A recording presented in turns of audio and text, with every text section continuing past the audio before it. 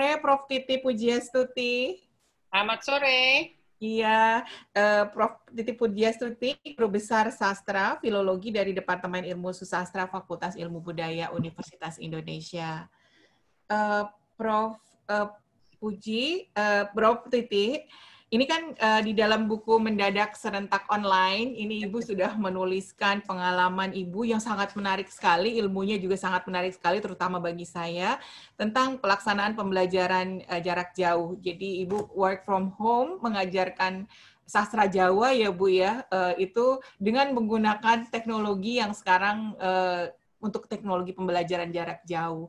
Boleh ceritakan sedikit Bu bagaimana rasanya Ibu uh, Prof waktu uh, melaksanakan itu? Silakan Prof Titi. Ya, baik terima kasih. Sebetulnya saya kaget karena saya gaptek sebetulnya orangnya. Tidak terlalu uh, pandai atau tidak terlalu oke okay untuk teknologi. Saya orang yang pasrah-pasrah aja. Cuma ya karena dituntut apa boleh buat. Nah, kebetulan anak saya kan anak muda di rumah, dia bantu saya. Jadi ya ya kalau sudah dikasih tahu satu kali ya saya bisa begitu. Tapi kalau dari awalnya saya pasti bingung. Nah, ketika saya harus mengajar um, pakai online, saya bingung gimana caranya. Kebetulan mata kuliah saya itu ada yang bahasa Jawa dasar itu untuk untuk anak se-UI, jadi mahasiswa UI itu se-UI. Jadi memang saya, sebetulnya kalau dibilang merdeka belajar jurusan saya, jurusan Jawa ya. Saya kan S1 Jawa ya. Itu sudah mulai dari dulu, cuma intern hanya UI gitu, tidak keluar gitu. Jadi mahasiswa kami dari berbagai fakultas di UI itu sudah dapat, sudah dari dulu udah ya mungkin udah 5 6 tahun yang lalu kami udah start itu. Nah, ketika saya harus mengajar itu saya agak agak bingung. Nah, di dalam mata kuliah kebetulan yang saya ajar bahasa Jawa dasar itu kan ada pelajaran tentang masak memasak begitu. Nah, kalau masak-masak kan harus perkirakan bumbu. Anak sekarang kan nggak tahu. Nah, di ya. dalam foto itu kan saya kasih lihat gambarnya jahe. Iya, iya ini jahe ya. kalau jahe itu namanya sak rimpang bahasa Jawanya itu seberapa? Saya harus kasih tahu gitu. Bukan satu senti, dua senti ya, Prof? Nah, makanya kita pakai rimpang. Rimpang itu seperti apa ya? Se segebleknya, se se sebongkah sebongkahnya jahe itu namanya rimpang gitu. Itu bahasa oh. Jawa. Jadi saya kasih tahu nih loh jahe serimpang. Ada saya jadi di meja saya ketika saya mengajar itu bumbu macam-macam itu saya keluarkan saya kasih lihat aja begini ke mahasiswa. Karena kan Uh, bisa juga dengan cara saya potret dulu, kemudian kasih ke mereka melalui WA begitu. Tapi saya pikir juga praktis kalau saya kasih lihat begitu, mereka tahu semua kan, lihat semua. Jadi hmm. memang ada senangnya, ada um, sukanya, ada dukanya. Senangnya semua mahasiswa ternyata bukan cuma mengajar bahasa Jawa dasar, tapi juga mata kuliah pengkhususan saya filologi, itu mahasiswa jadi berani nanya Oh. aktif dan berani nggak takut-takut nanyanya itu. Dan ternyata pertanyaan-pertanyaan mereka juga bagus-bagus. Jadi selama ini kalau mereka cuma diam kalau di kelas gitu, ternyata waktu kita kuliah daring, mereka berani semuanya ber nanya nggak ada yang nggak nanya. Dan mereka santai itu positifnya. Jadi kuliah daring itu positifnya di situ. Lebih mereka banyak ya positifnya. Karena nggak lihat kita kali ya, nggak berhadapan langsung. Jadi mereka berani serentak mereka bukan serentak artinya bergantian mereka se, apa rajin bertanya untuk hal yang mereka nggak tahu mereka tanya bu anu bu gitu. Jadi saya juga semangat ngajarnya seneng. Itu positifnya. Cuma negatifnya kalau kuliahnya pagi kadang-kadang baru bangun tidur masih di atas tempat tidur. Mereka masih di atas tempat tidur jadi boro-boro mandi. Atau sambil tinggal makan lah apalah begitu. Mungkin karena di rumah kan gitu. Jadi sama oh, tahu dari mana kalau mereka makan nggak ya, ada videonya atau mereka bilang iya. mereka bawa kan ke depan kan kita lihat kan Iya. Sambil sarapan ya gitu. Oh ya silakan. Saya mau bilang apa? Masa di rumah nggak boleh? Masa yang sakit perut atau gimana? Ya? Atau kalau yang sudah pulang kampung, ininya apa namanya jaringannya turun naik iya gitu kadang-kadang hilang terus nanti bu maaf pakai WA dia jaringannya hilang bu error gitu Pulang kampungnya ke mana Bu rata-rata Prof yang seperti itu Prof? Ada yang ke ada yang ke Sulawesi. Masih, oh iya. Mahasiswa saya. Iya, uh, mahasiswa. Yang ada keburu pulang kampung kan. kan kita tanggal 16 tutupnya. Nah, sebelum itu udah diberitahu mereka udah yang kabur pulang begitu. Ada yang cuma di Jawa gitu, tapi eh, tapi ya banyak juga yang masih bisa gitu. Cuma ada beberapa yang yang ya itu kasihan kalau yang mereka yang pulang kampung jauh tiba-tiba error. Nah, itu mereka minta pakai WA. Jadi kalau soal misalkan atau latihan saya kirim saya foto pakai WA.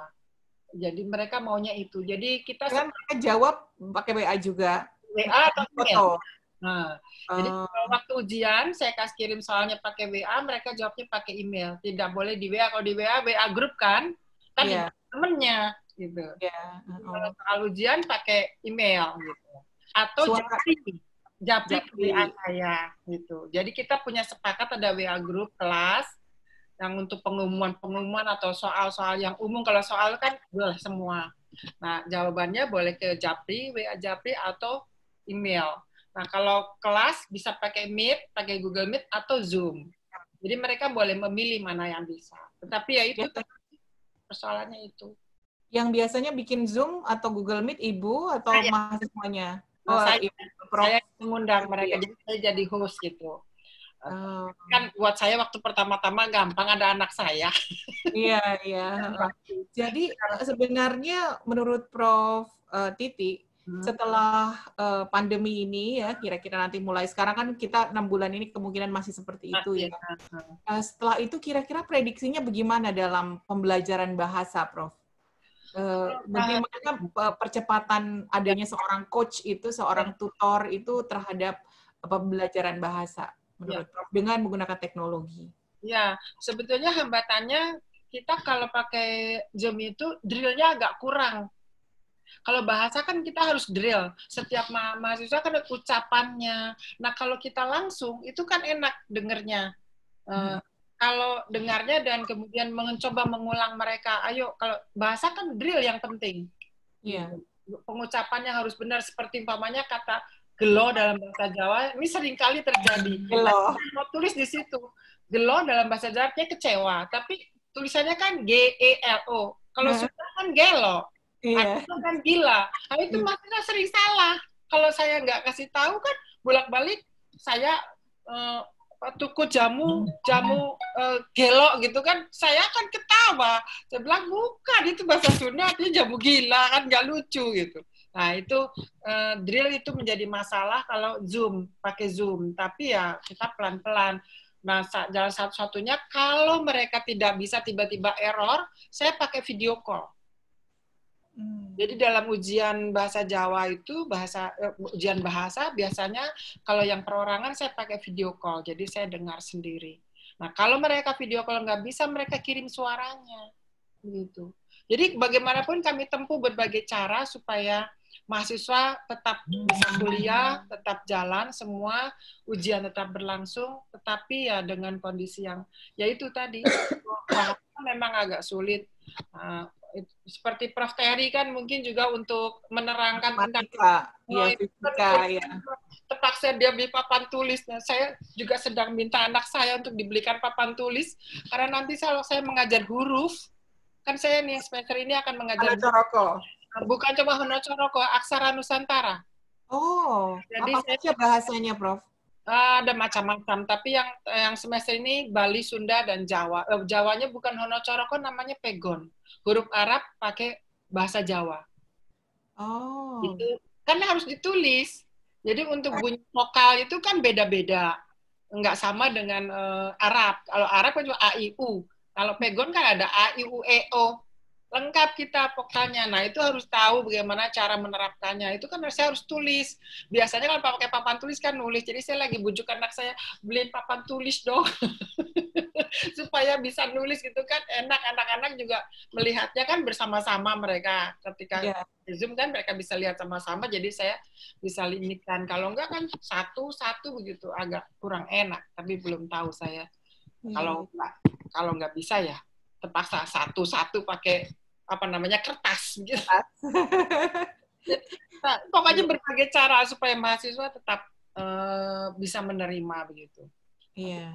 Hanya itu aja saya kira hambatannya di drill. Kalau yang lainnya bisa pakai WA, pakai apa.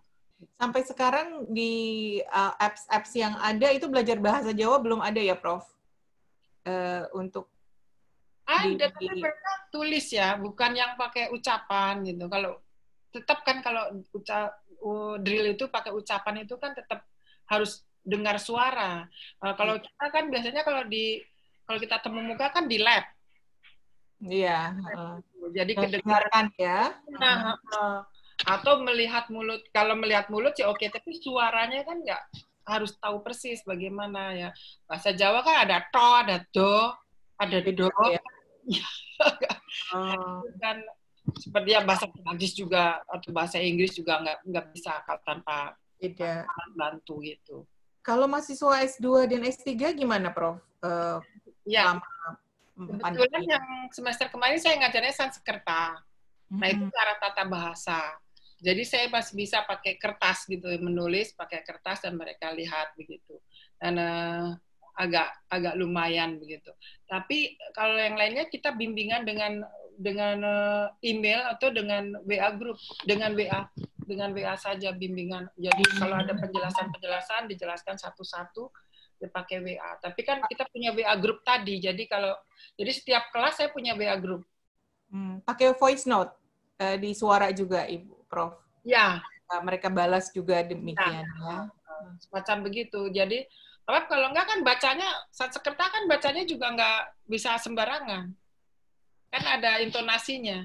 Kalau ah, kayak Arab, kalau panjang pendeknya kalau dibaca lempeng aja kan artinya beda nanti. Oh. Jadi ada kekatan. Jadi yang itu yang Sanskerta. Nah, eh, semester ini adanya Jawa kuno. Jawa kuno juga nggak terlalu, tapi tata bahasa kita jatuh di tata bahasa jadi nggak terlalu bisalah dengan makanya saya butuh papan tulis saya bilang walaupun bahasa tapi butuh papan kalau tulis. papan tulis mungkin mungkin ada yang bisa mengajarkan uh, karena kan harus dibalik prof kalau kalau ya. sekarang ini kan kelihatannya tulisannya nanti bakalan beda di yang ya. nonton kan jadi mungkin ada sih teknik-tekniknya itu yang mungkin beberapa teman yang bisa bantu untuk hmm. mengatur seperti itu ya uh, direfleksikan atau gimana emang nggak bisa ya kita saya nulis dulu gitu di sini orang baca di situ. Bisa bukan? Kayaknya saya kalau pakai kertas saya tulis gitu saya kasih begini mereka bisa tuh bacanya. Oh berarti ya ya berarti ya asal uh, waktu mirror nggak mirror ya kelihatannya. Iya. Jadi ya. nggak tahu nanti dicoba dulu. Dicoba dulu. Ya menarik sekali. Jadi waktu waktu kami membaca ini pertama kali wah ini uh, ternyata teman-teman di FIB uh, betul-betul menggunakan teknologinya benar-benar tidak terbayangkan ya dulu ya bahwa kita bisa mengajar uh, dengan cara yang seperti ini tidak bertemu dengan mahasiswanya tapi mereka kemudian waktu dievaluasi capaian pembelajarannya bisa gitu ya Prof. Makanya waktu ujian juga mereka bagus-bagus ya. Uh, saya yakin mereka sungguh-sungguh walaupun walaupun uh, apa namanya kita terbatas bertemu gitu tapi justru malah mereka menjadi sebetulnya sebetulnya mereka menjadi lebih aktif dan lebih rajin belajar. Ternyata loh bu. Mereka lebih serius ternyata menurut hmm. saya ya. Karena uh, bu saya tidak tahu kenapa tapi mungkin mereka merasa lebih walaupun mereka rindu untuk bertemu kan rindunya kan cuma untuk bercanda ya. Iya. Kumpul ya tapi kalau belajarnya kan mungkin mereka lebih banyak lebih banyak waktunya dan lebih serius karena nanyanya lebih enak kan. Anytime oh, mereka nggak ada waktu nanyanya. Kadang-kadang malam aja nanya juga, Bu, kalau ini gimana Bu? Ini artinya apa Bu? Ini begitu.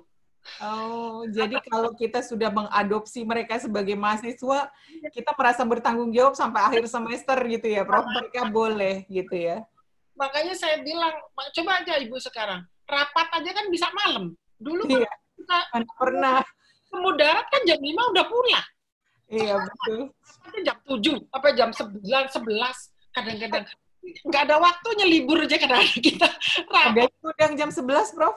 Iya, ada pernah. Apa rapat apa itu? Prodi. Oh, kurikulum tentang kurikulum. Jadi oh. mereka kan kurikulum baru. Ya biasa kan, Mbak. Semacam gitu. Iya, iya, iya. Ujian TA aja S1 yang pembimbingnya mau nilai sekian, si pengujinya mau nilai sekian, berantem ini rame banget. Itu sampai lama waktu padahal setengah jam lebih nggak bisa setengah jam karena cuma rapatnya aja nggak bisa untuk hanya untuk tiga orang nggak bisa setengah jam karena eh, masing-masing punya argumen. Jadi makanya ini sebenarnya kuliah apa namanya dengan kegiatan pakai daring ini waktunya lebih panjang, lebih nggak kenal waktu istilahnya. Ya, semua lebih sungguh-sungguh ya. Tapi semua lebih sungguh-sungguh. Jadi uh, positifnya di situ. Uh, cuma ya mungkin kalau misalkan yang untuk tua-tua yang udah sepuh-sepuh, cuma ya kalau sekarang ini seperti sekarang di S2 tuh dosen-dosen yang udah uh, pensiun nggak boleh ngajar lagi karena kan mereka kita nggak bisa menggunakan ini ya. Iya, kasihan juga soalnya. Uh bingung kan gitu. Iya, iya. Tapi lebih ya itu sisi positifnya di situ sih, Prof. Iya. Ya, Dan saya, ya, ya, saya lihat memang uh, ilmu budaya ini uh, apa betul-betul di sini ini tergambarkan sekali. Sama juga dengan tulisan Prof. Agus saya juga tadi mau mau menghubungi beliau karena tertarik sekali gitu uh, dengan waktu membacanya. Ternyata teman-teman punya ide-ide banyak gitu ya dan menerapkan. Bukan hanya uh, ini tapi memang capaian pembelajaran supaya mahasiswanya bisa melakukan ini ini ini tercapai gitu. Alhamdulillah iya. Prof. Ya persoalan di kuliah saya itu kalau filologi kan kita harus tem, harus lihat naskah ya, naskah kuno. Nah, itu ada masalah. Cuma ya terpaksa selama dari ini saya kebetulan punya beberapa koleksi naskah ya saya foto, saya kirim ke apa namanya? Kalau tugas masing-masing ke masing-masing eh, WA mereka, itu kalau yang tugas bersama ya ke WA grup. Mereka harus membaca bersama. Gitu. Karena pakai naskah, harusnya kan ke perpustakaan ya, tapi kan libur nggak bisa. Iya, betul. Itu aja persoalan untuk mungkin untuk filologi seperti arkeologi, Pak Agus, Prof Agus, itu kan harusnya mahasiswanya ke lapangan gali. Gimana coba? Mau gali apa? Mereka nggak bisa gali kalau kayak gini. Gitu. Itu persoalan-persoalan kesulitan kami biasanya yang yang membutuhkan lapangan. Gitu. Yeah ya seperti juga teman mahasiswa teman-teman dari yang eksak yang harus ke lab mungkin kan nggak bisa juga ya gitu Iya betul. Uh, cuman memang ada beberapa lab yang sudah mulai jalan ya karena tidak mungkin tidak itu 50%. Jadi betul-betul menjalankan protokol COVID gitu. Iya, iya. Ya. Prof Titi Pujiastuti dari Fakultas Ilmu Budaya, Ilmu Pengetahuan Budaya ya dari uh, eh, UI. Uh, tapi kira-kira kan ya prospek dari uh, pembelajaran uh, ilmu pengetahuan budaya ini, apalagi yang terbayangkan oleh Prof. Titi, apakah menjalankan peran dalam ketoprak gitu ya, itu adalah salah satu cara juga untuk mereka belajar bahasa atau apa sih sebenarnya breakthrough dalam pembelajaran bagaimana values dan segalanya dalam suatu kebudayaan gitu. Kira-kira apa yang ke depannya akan menjadi tren di dalam pembelajaran budaya ini, Bu Prof? Ya, um, kalau ketoprak sih sebetulnya hobinya para guru besar, hobi barunya para guru besar yang kepengen keluar dari uh, rutinitas mereka. Jadi kalau di kelas sih, uh, artinya kalau di di pengajaran kami ketoprak nggak ada, tapi ada kesenian um, musik ya, gamelan Jawa, gamelan Bali kami ada itu untuk mahasiswa. Uh, Terus kalau prospeknya untuk ke depan, ya kami memang mengajarkan untuk supaya mahasiswa lebih lebih uh, tidak terkungkung ya. Jadi mereka juga belajar tentang kesenian yang lain lagi, kesenian juga dan juga tentang um, bahasa untuk maaf untuk um, bahasa menulis di koran, di majalah-majalah dan juga uh, kita juga memperkenalkan tentang wira swasta dan sebagainya kepada mereka supaya mereka tidak terkungkung pada misalkan jurusan Jawa hanya belajar tentang Jawa tentang tahunya tentang mistik tentang apa begitu. Padahal nggak diajar juga yang kayak gitu. Mereka belajar sendiri soalnya kayak gitu. Jadi mereka kita ajarkan juga hal, -hal yang lain karena sekarang dengan kondisi seperti ini ternyata juga membuka peluang e, sebetulnya ya kepada mereka untuk lebih kreatif dan inovatif begitu. Kalau teman-teman yang hubungan, lain. Ya. ya, kalau hubungan dengan pusat-pusat kebudayaan Jawa, misalnya ke keraton dan lain-lain, itu gimana? Prof. Titi juga mungkin ada Raden Ayunya atau gimana? apa dari ayah memang dulu dari ada tapi saya nggak mau lagi bukan nggak mau lagi nggak nggak usah lah kayak gitu uh, kita orang Jakarta saya lahir sebelum lahir di Jakarta gitu. Jadi nggak nggak usah mengenal itu bukan nggak usah mengenal tapi biar saja itu masa lalu gitu. Um, kalau hubungan dengan keraton tentu saja masih tetap tetap ada. Karena kita kan dari jurusan Jawa biasanya keraton Jogja Solo uh, kalau ada kegiatan kita diundang. Dan uh, kita tetap mengikuti seperti ada Kongres Kebudayaan Jawa, Kongres Bahasa Jawa, kami tetap aktif. Cuma memang dari jurusan kami bergantian yang ikut hadir atau yang diundang oleh panitia seperti itu. Tapi seperti Fakultas Ilmu Pengetahuan Budaya kan juga ada kerjasama dengan Mangkunegaran, juga dengan Sakualam. Nah, itu kami sebetulnya punya proyek yang untuk mendigital naskah. Kan naskah-naskah ini naskah kuno itu kalau didiamkan rusak nggak karuan. Nah, kami usaha penyelamatannya dengan uh, cara membuat digital. Itu saya tulis juga di dalam buku trajektori nanti. Jadi itu satu program pemindahan bidang ilmu saya. Dari filologi studi naskah itu pindah ke digitalisasi ke teknologi fotografi. Itu jadi untuk bagaimana menyelamatkan naskah kuno dan menyebarkannya ke seluruh dunia dengan cara cara model sekarang pakai web dan sebagainya. Itu uh, saya lakukan. Pro, program bukan program tapi pengembangan bidang studi saya itu di trajektori yeah. saya tulis juga bu. Yang dituliskan ya ya yeah. jadi uh, kalau mahasiswa S3 sekarang topik-topiknya kira-kira uh, ke arah apa prof? Yang sekarang um, yang di UI ya. Kalau yang di UI itu ada yang uh, yang sekarang baru masuk uh, itu tentang naskah Merapi Merbabu naskah kuno Jawa kuno. Merapi Merbabu itu sangat langka jumlahnya tidak jumlahnya cukup banyak tapi penelitiannya sangat sedikit karena hurufnya sangat unik gitu sulit gitu jadi hanya sedikit orang yang bisa ini yang baru tapi yang sebelumnya um, dari uh, Hono Coroko biasa di huruf huruf biasa, jadi huruf Jawa biasa. Yang satu lagi Melayu. Kebetulan S2 masuk eh, masuk S3 yang sekarang sedang kuliah ada dua orang. Yang baru masuk ada juga. Hmm, yang baru masuk yang saya tahu baru satu tapi yang lain saya belum tahu karena belum tanya sama pasca begitu.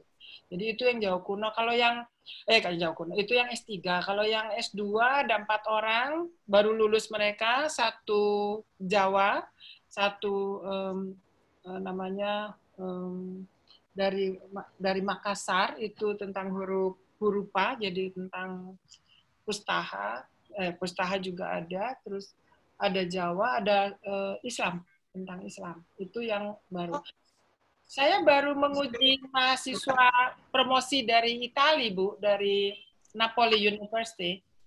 Dia oh. orang Italia, tapi mengambil tentang pustaha Batak. Jadi saya ikut menguji. Jadi pengujinya oh. hanya tiga dari Hawaii, dari London, dari Inggris, dan dari Jakarta saya. Jadi oh. saya mahasiswa orang Italia, ujiannya di Napoli sana. Tapi nggak Zoom, Zoom juga. Pakai Skype. Pakai Skype kemarin. Skype. Jadi di saya jam 2, di Hawaii jam 9, di London jam 10, di Italinya jam 9. Ya, luar biasa. Nah, Berarti ilmunya memang ilmu yang sangat khas Indonesia, jadi memang harus ada um, Indonesia. scholar dari Indonesia. Ya, ya, ya. Saya pernah meneliti Batak beberapa kali dan menerbitkan beberapa buku, jadi dia meminta saya untuk mengujinya. Ya, saya nggak apa-apa, oke aja. Senang saja ada orang asing juga meneliti tentang dunia, tentang naskah Batak. Karena Batak sulit, Bu, dan uh, sedikit sekali penelitiannya. Jadi saya senang dia itu Di uh, USU nggak nggak ada ilmu sastra Batak, Prof? Uh, USU ada Dulu kan Ada. kita punya punya UI semua. Jadi UI oh, itu iya. FIB-nya kan punya Sunda, Batak, Padang. Akhirnya ketika tahun berapa ya saya lupa ya itu, eh, ketika USU berdiri maka sastra Batak dipindahkan ke sana.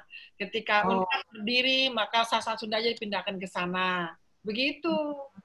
Jadi yang tinggal di UI sekarang hanya tinggal Indonesia yaitu sastra Melayu dan Jawa. Yang oh. lain pindahkan ke daerah semua yang pada punya kayak Padang, kan Unan punya. Bali, dan Pasar, Unut punya. Dipindahkan ke sana dulu punya UI semua, Bu. Cara memindahkannya gimana, Prof? Orangnya dipindahkan? atau ya jadi bukan orangnya jadi universitasnya berdiri ya kan ya, kemudian kan? Ya, kan ada yang eh, menekuni dari Sasa Sunda dipindah di dipindahkan ke sana tidak lagi di UI sendiri begitu. Seperti ITB kan dulu juga namanya UI juga IPB ya. kan UI juga. Tapi iya. kemudian menjadi spesifik sendiri sendiri begitu. Dulunya kan begitu waktu zaman masih zaman Belanda. Masih oh. berada ketika UI baru berdiri. Universitas Indonesia. Masih begitu. Nah, terus yeah. USU berdiri Unpad berdiri dipindahin semua. Dan di sana mengembangkan diri begitu. Iya. yeah. Baik, Prof. Titi, menarik sekali yang kita diskusikan sore ini. Jadi uh, terlihat sekali ya, uh, kalau saya berpikir bahwa uh, semua kita itu di bidang masing-masing ternyata setelah saya bicara dengan teman dari kedokteran kemarin gitu yang presentasi ya waktu itu uh, luar biasa cakupannya dan memang kita semua tetap semangat uh, di dalam masa pandemi ini. Mudah-mudahan pandemi segera berakhir dan mahasiswa kita tetap dapat melakukan yang terbaik dan capaian pembelajaran juga yang terbaik. Ya. Baik, saya tutup dulu Ibu. Terima kasih atas kehadirannya. Assalamualaikum warahmatullahi wabarakatuh. Sebentar Ibu ya.